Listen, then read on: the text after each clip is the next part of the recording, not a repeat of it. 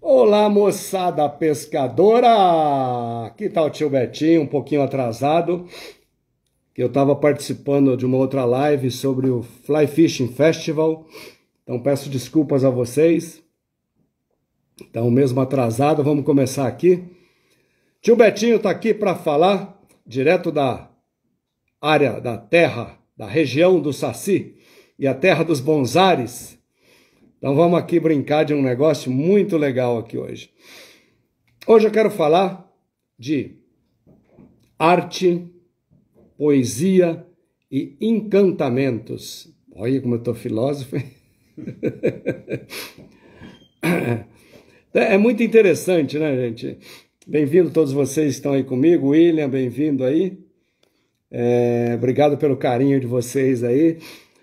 Então eu quero falar exatamente da poesia que é a arte de atar. A gente, quando fala de fotografia, eu posso ter a mesma câmera que um outro amigo tem e o resultado fotográfico que esse amigo consegue é algo absurdo. Né? É, falar de cozinha também. Assim, o mesmo tempero que está na minha mão, o mesmo ingrediente está na mão do outro, e por que, que o outro faz aquela obra-prima, aquela preciosidade? Né? Fala de pintura também. Então a gente tem uma caixinha de lápis de cor na mão e lá umas canetinhas coloridas. Por que, que um consegue fazer aquela obra de arte, né? E o outro faz os rabiscos. É, a poesia, né? As mesmas palavras, as mesmas frases, a gente tem acesso a isso tudo. E, no entanto, algumas pessoas encaixam as palavras de tal forma que gera na gente um encantamento, desperta coisas maravilhosas. E assim, em todas as áreas, todas as profissões, seja na dança, na música, na costura, na agricultura, florista. Então, tudo isso gera encantamentos, poesia e coisas maravilhosas na gente, né? Agora, tudo isso depende de quem é que está segurando aquele pincel atrás, né? Quem é que está clicando aquele botão? Qual é o olhar? Qual é o sentimento que está naquele material, qual é o artista que está fazendo isso tudo. Então, assim, para gente, a arte do atado é igualzinho, gente. É o sentimento de cada um, né? É quem é que está segurando aquela ferramenta. Quem é que está praticando para fazer algo legal, para apresentar algo bacana. O que eu vou apresentar hoje para vocês nada mais é que uma verdadeira obra de arte não é criação minha. Eu acompanho um cara há muitos anos. O nome dele é Paulo. É Paul. Cadê o nome dele? É Paul, Paul, Paul, Paul. Paul Monaghan. Acho que esse cara é um inglês. Esse cara ele apresenta as iscas dele sempre com uma assinatura que eu disse que um dia eu gostaria de fazer uma live mostrando essa técnica que o cara usa. Então, o Paul Monogam, não, Monaghan, ele tem a minha admiração de muitos anos. Então, por que eu quero homenageá-lo aqui e compartilhar com vocês isso aqui? A gente olha um streamer desse, eu quero falar de streamer degradê, as cores degradê. O que que tem de anormal nisso? Nada, gente. É, são os mesmos materiais, ó, que todo mundo tem acesso, as mesmas, os mesmos materiais, só que a forma de amarrar isso aqui, de montar no anzol, é que esse cara me encanta, que eu o admiro demais, né? Quero mostrar essa técnica para vocês. Deixa eu mostrar uma outra aqui, ó. É uma técnica chamada degradê. Olha que interessante. Então, os mesmos materiais. Alexandre, bem-vindo aqui. Então, os mesmos materiais que a gente está usando para fazer o streamer, só que essa forma de atar é uma preciosidade e muito simples, né? Então, eu quero compartilhar com vocês. Eu uso bastante essa técnica nas minhas pescarias também, só que muitas vezes isso passa desapercebido quem olha a isca, né? Nem sempre as pessoas enxergam como a gente está vendo quem fez, né? Então, se vocês olharem, olha a combinação de cores, ó. Mais aqui. também misturando a base sempre clara, né? Os meus streamers eu gosto sempre da base clara, ó. Olha que interessante que fica. Ó. Olha esse tom de amarelo para verde. Ó. Esse outro aqui também, ó. Olha que interessante essa pintura Fire Tiger, né, que é feita com pincel. Um tom de azul aqui também, ó. Então, é o objetivo hoje é compartilhar com vocês essa técnica que eu chamo de streamers degradê. Para isso tudo, nós vamos fazer o seguinte, vamos pegar um anzol 3/0, que é um anzol muito comum para quem pesca na Amazônia. E claro que eu poderia fazer um streamer bem pequenininho, mas a coisa ia ficar um pouquinho reduzida. Mas vamos reproduzir esse aqui, tá? Vamos reproduzir isso aqui, que é uma cor bem, bem chamativa, né? Quem gosta de carro vai ver e falar, ah, mas isso é um tuning. Aquela pintura de labareda, fogo, né? Olha, então é exatamente esse tipo de conceito, esse degradê também. Vou usar um anzol 3 0, que é considerado um anzol grande já, né? Para facilitar, inclusive, a nossa visualização aqui, ó. Um pouquinho mais para cá. Linha de atar preta, fazer aquela caminha básica. E na blusa preta ela vai sumir tudo aqui, né? Mas o importante aqui não é a linha, as outras coisas, né? Vamos pôr esse material aqui, vamos fazer uma, uma pintura. Bom, aqui todo mundo pode passar cola para facilitar a fixação do material. Eu vou começar, vamos fazer o seguinte, ó. Eu vou usar, ao invés de usar o branco, eu vou usar uma cor osso. Vou pegar um tufo de osso. Ó. Fala assim, ah, você vai fazer o streamer grandão? Ah, vamos dividir? Vamos ser pão duro? Vamos fazer assim, ó. Fazer pela metade, tá? Fazer mais curto, não vamos exagerar, não. Então, esse mesmo tufo que eu fiz, eu cortei ao meio, separei. E como eu quero ele um pouquinho mais comprido, eu normalmente amarraria ele pela metade. Só que eu vou fazer o seguinte, eu vou deixar, que eu quero ele um pouquinho mais comprido, ó. eu vou amarrar um pouquinho mais aqui, eu vou deixar mais curta essa base, na direção da farpa do anzol. Uma meia dúzia de voltas, faz ele girar em torno da haste do anzol. A gente vai fazer exatamente essa isca, tá?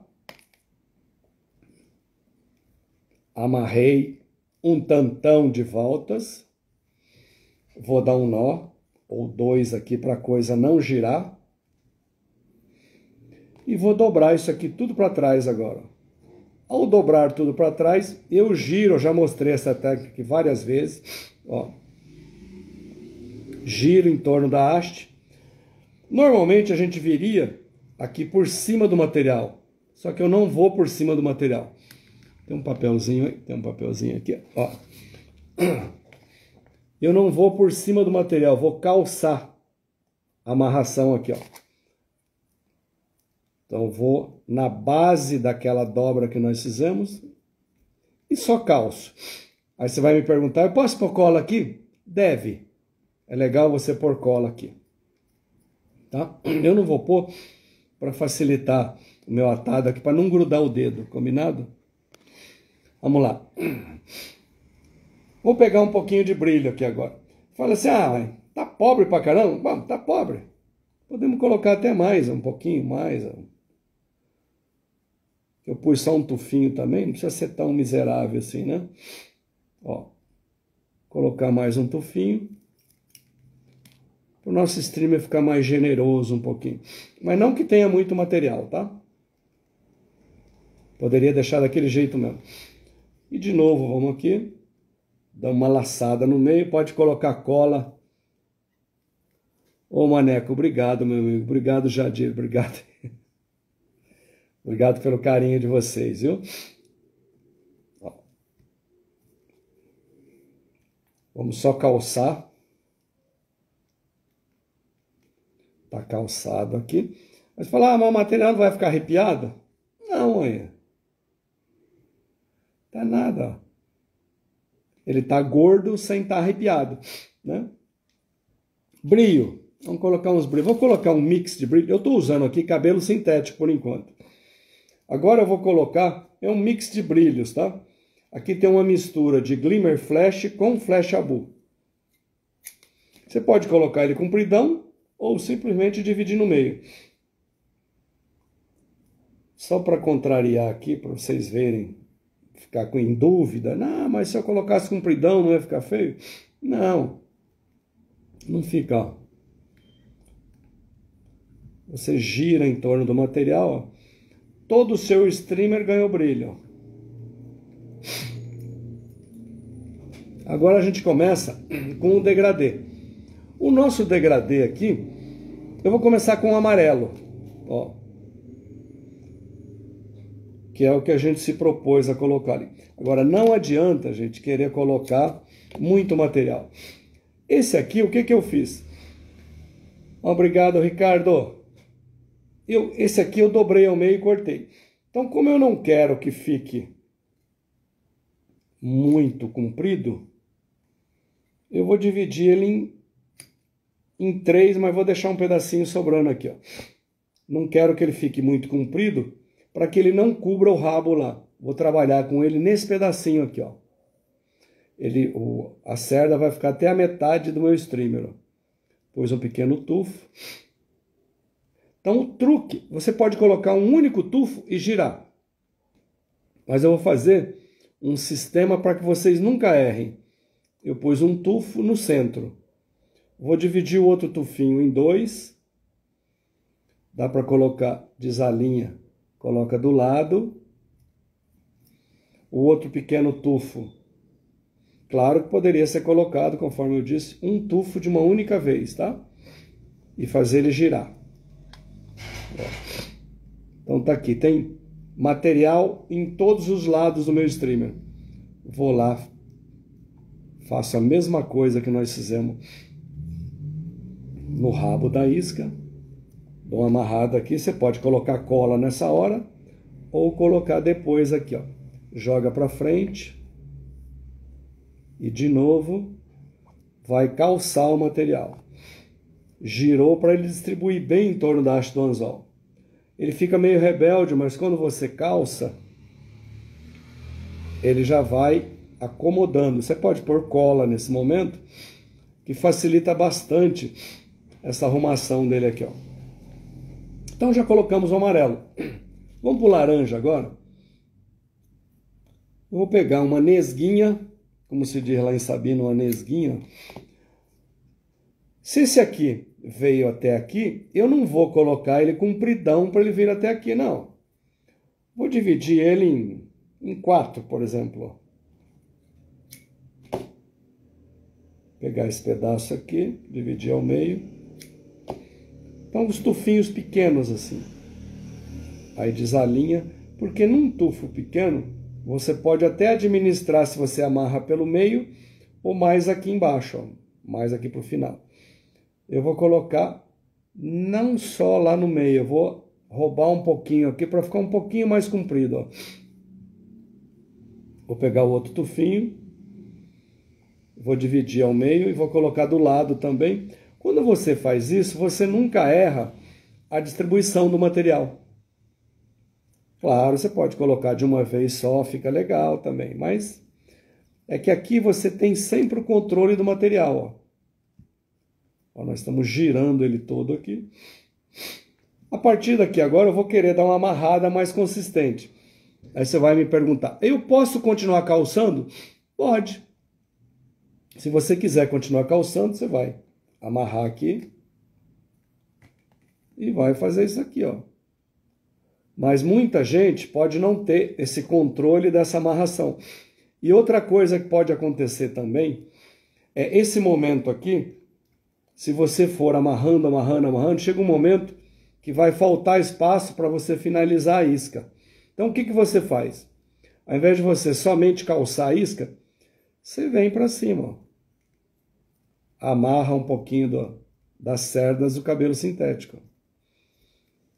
Ao fazer isso, você já roubou um pedacinho da haste do anzol aqui para poder amarrar, né? Ó, já tá amarelo laranja. Aí já a gente quer fazer vermelho aqui. Aí vem um golpe baixo agora para esse vermelho. Ah, eu posso continuar colocando cabelo sintético? Pode. Só que para facilitar a tua vida, tio Betinho, que não é bobo nem nada, é preguiçoso além de tudo. Eu uso um outro material chamado BG Fiber, né, Lázaro? Nós somos tudo uns ordinário, preguiçoso. Olha aí. Vou pegar um tufinho aqui do BG Fiber. Qual é a diferença do BG para o cabelo sintético? O BG ele é mais fino. Você poderia também utilizar um outro material, aproveitar para falar dele também. O pseudo marabu. Então, qual que é o mais grosso aqui? O mais grosso é esse aqui, que é o cabelo. Aí depois vem para o BG Fiber e depois vem para o pseudo marabu, que é mais fininho ainda. Se você tiver mais dificuldade para trabalhar com esse aqui, você pode usar o outro e dá na mesma coisa. Então, como nós utilizamos aquele dividir em quatro, eu posso dividir ele até em cinco, seis, ó. Só que eu quero que ele fique mais curto, né? Ó, um, dois, três, quatro. Dividir em cinco, meu. Vou pegar o primeiro tufo. Olha o golpe baixo agora. Como ele é mais fino, olha como é que fica essa armação aqui, ó.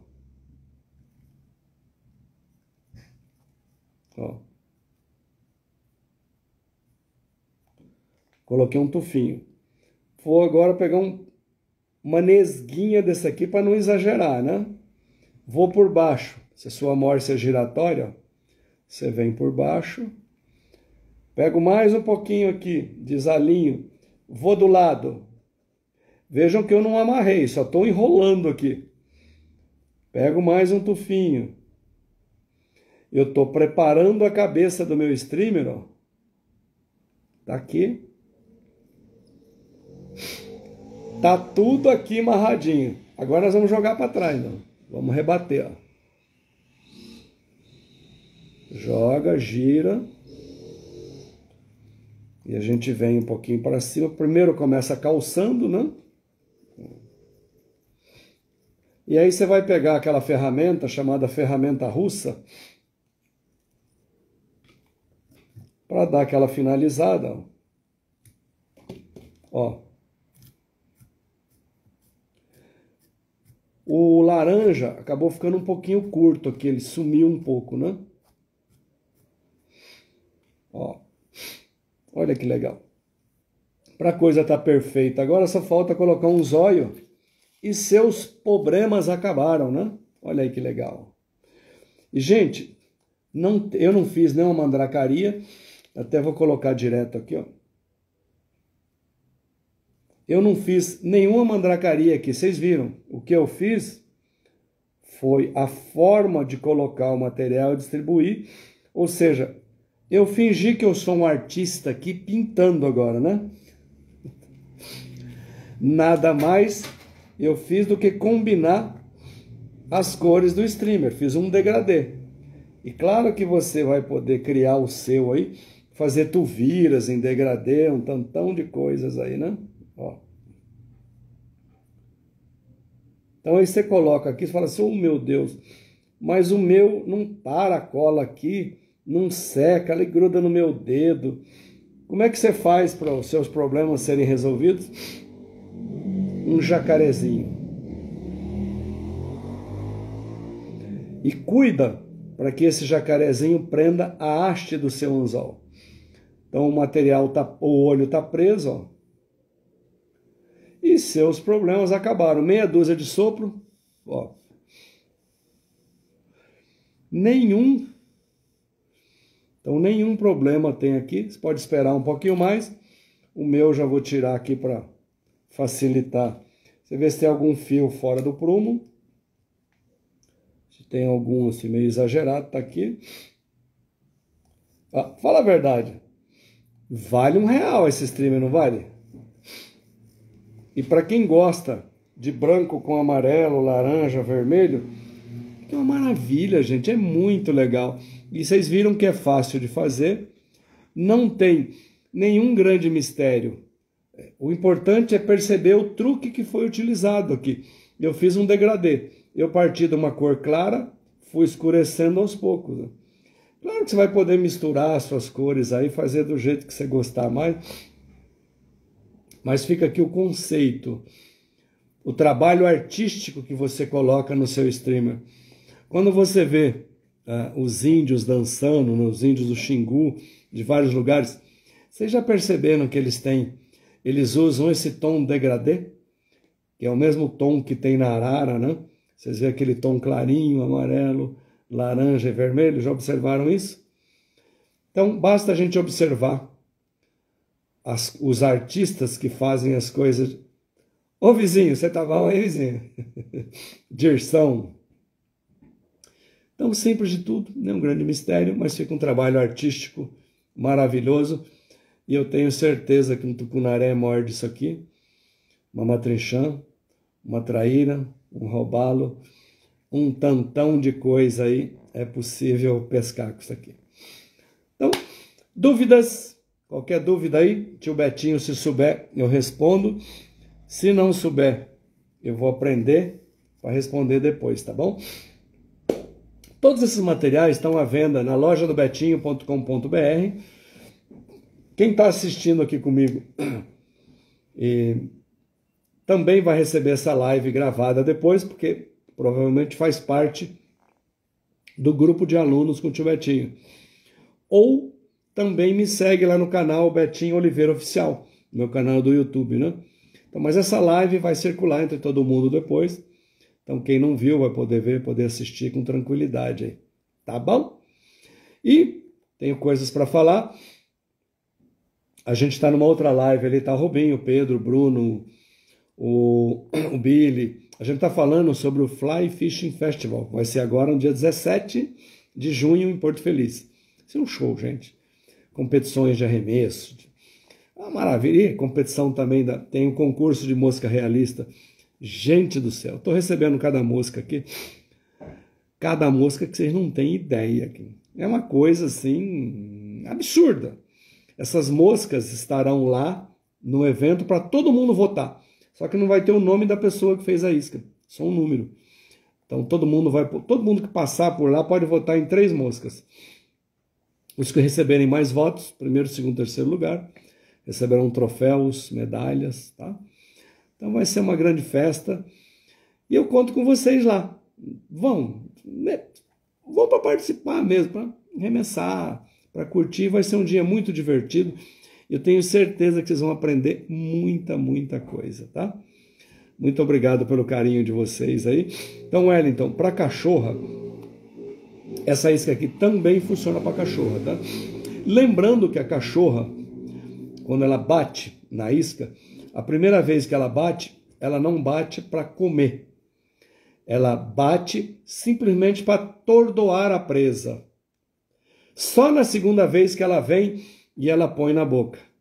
Então, lembre-se disso. Sua pescaria de cachorra vai ser mais produtiva. Então, e não faça isca grande para cachorra, não, tá?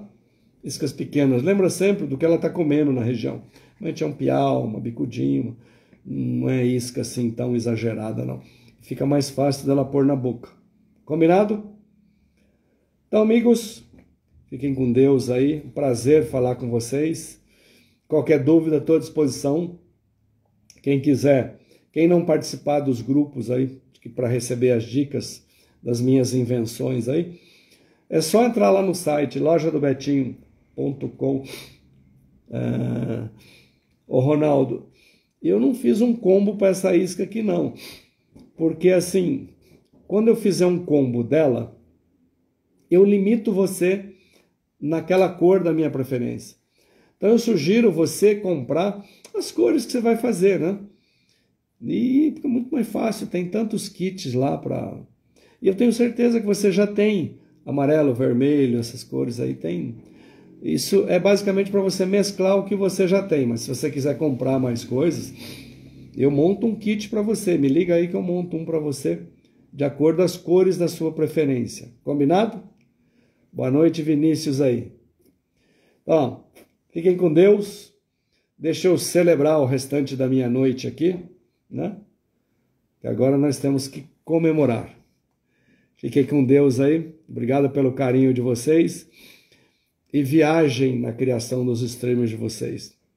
Pensem é, que vocês não estão fazendo iscas somente para pescar.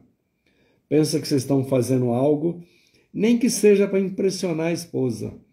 Que na pior das hipóteses, faz uma isca dessa aqui, ó, você pode tacar o alicate aqui, cortar e dar isso aqui para tua esposa usar num colar, num pendente, usar como brinco. Tá bom? Boa noite aí. E quem estiver assistindo durante o dia, bom dia, boa tarde aí. Fiquem com Deus. Tchau, tchau.